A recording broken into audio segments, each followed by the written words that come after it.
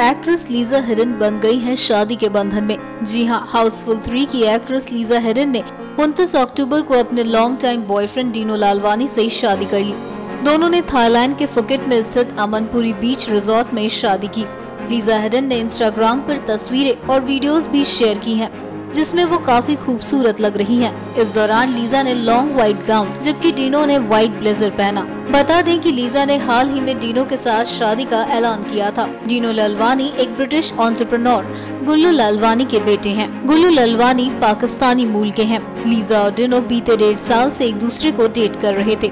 Lisa ने हाल ही में डिनो को किस करते हुए एक फ़ोटो पोस्ट कर अपनी शादी का ऐलान किया था। फ़ोटो के साथ ही उन्होंने कैप्शन लिखा था, gonna marry him. Lisa Bollywood की हाल रिलीज़ फ़िल्म मैं दिल है मुश्किल में भी काम कर चुकी हैं। इससे पहले लीजा हाउसफुल थ्री में भी नज़र आई थी